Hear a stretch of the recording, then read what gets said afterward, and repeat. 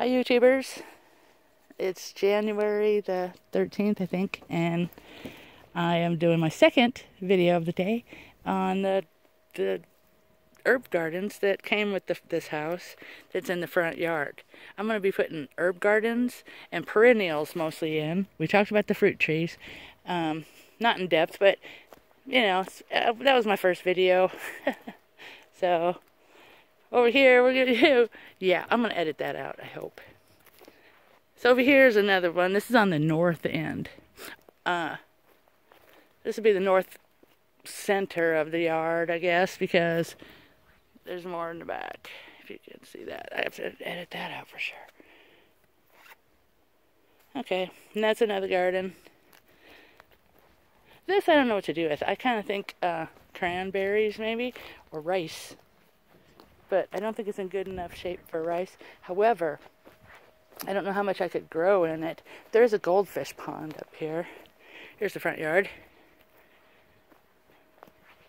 I'll cut across here. There's actually little stones here. I would like to put, I'm going to put lavender in these little gardens here. Goldfish pond. And I think it would grow some awesome rice and maybe some water chestnuts. I'd, I'd like to have, this is all flowers here, I, am hoping.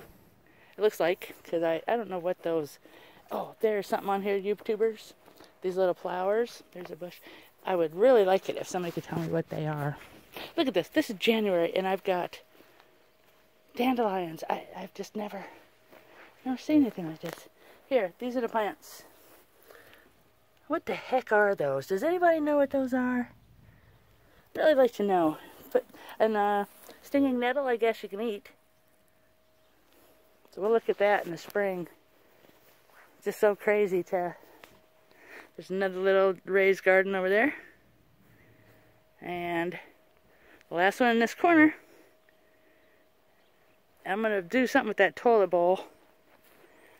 Uh, probably over here by the goldfish pond. Maybe put some cascading flowers growing out of it. Oops. See, that's what I mean about the the bad.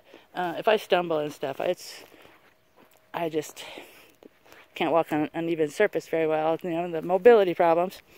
All right, here, this they had all this in mulch, all the way up to there, which I guess you know I kind of think it was to make it match